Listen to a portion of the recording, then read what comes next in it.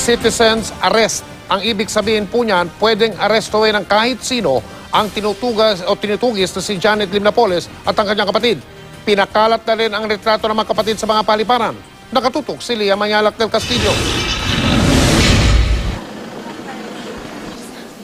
Aminado si Justice Secretary Laila De Lima na mahirap nang mahanap pa si Janet Lim Napoles. 24 oras na ang lumipas mula nang makuha ng NBI ang warrant of arrest kay Napoles at sa kapatid na si Reynaldo Lim. Pero tila natunugan na raw ni Napoles ito kaya't nakapagtago na. Hindi na nakakagulat yan, no? Dahil nga, the fact na, na the fact na hindi, hindi na siya nakikita nung ah, lumabas na yung warrant of arrest, ibig sabihin nga, ay natunugan na niya, nagkaroon na siya ng advance info, nag, may nagtip na sa kanya. Eh, hindi ba she's well connected? Hindi ba pinagmamalaki daw niya noon na hawak niya ang gobyerno? Di yan yung mga sabi ng mga whistle, whistleblowers? So meaning well-connected. Mm, So I'm not surprised anymore.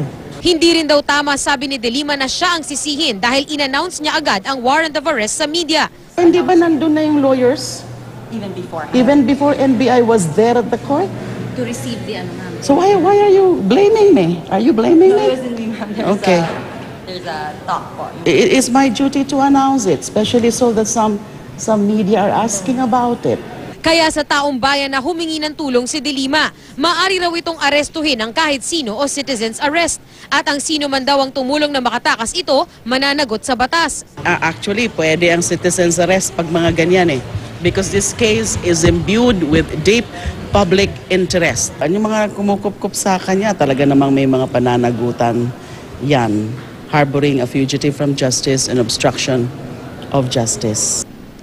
Ikinalat na rin ng mga litrato ni Napoles at kapatid na si Reynaldo sa airport. Kamakailan ay iniutos na ni De Lima na ilagay si Napoles sa lookout bulletin sa NAIA.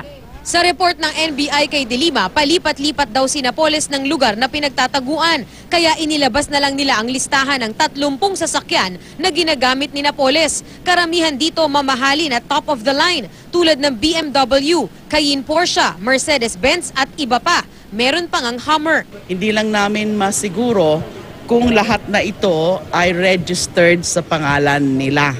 Maaaring hindi ito, yung iba dito ay hindi registered.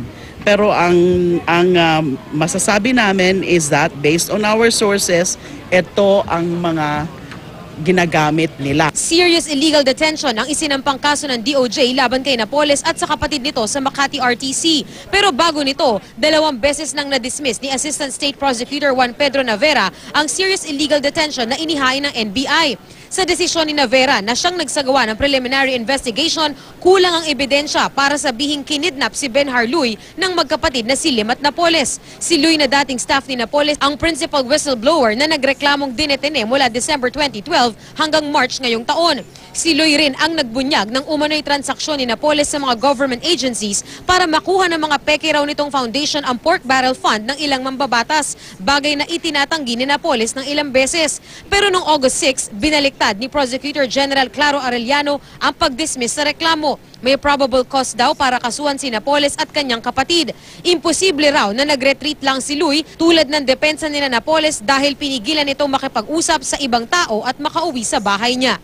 Lia Manyalak del Castillo, Nakatuto, 24 Oras.